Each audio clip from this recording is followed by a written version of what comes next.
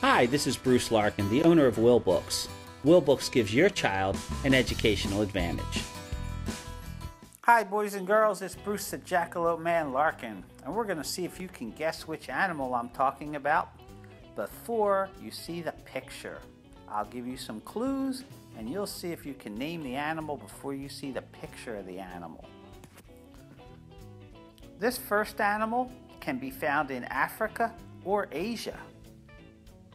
It lives where it is warm.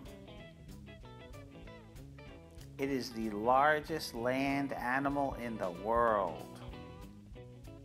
If you don't know by now, I'll tell you it also has big ears and a trunk. Of course, I'm talking about the elephant.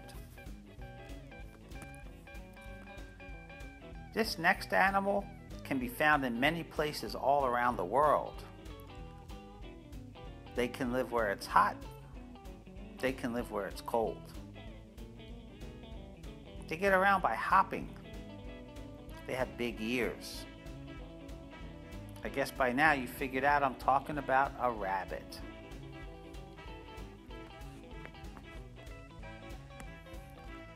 This next animal is a predator.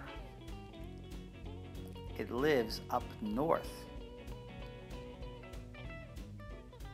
It usually lives and hunts in a group. That group is called a pack. I'm talking about Arctic wolves. This next animal finds its food at night. It often eats a lot of insects every night. It helps navigate by using sounds.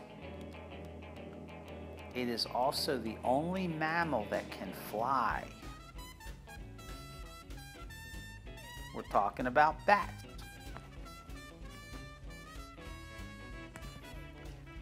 This next animal can only be found in the country of China. It lives bamboo forest. Bamboo is its main food. It is always black and white. That's right, I'm talking about the panda. This next animal is found in the western part of the United States. It lives in herds. It eats grasses and plants. It is very fast.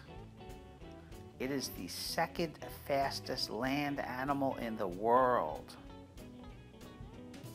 I'm talking about the pronghorn. Well, I hope you had fun with this little game, contest, whatever you want to call it. We have plenty more of these videos, so if you enjoyed this one, look for the others. This is Bruce the Jackalope Man Larkin, signing off for now. Until later, bye-bye. It's Bruce the Jackalope Man Larkin. Thanks for watching this video today. We have a lot more videos, so go ahead and check them out. If you want to keep up to date on new videos, subscribe to our channel. If you want to read some free books online, go to the wilbooks.com website. And if you'd like to enjoy a small bowl of bridge mix, have at it. See you later.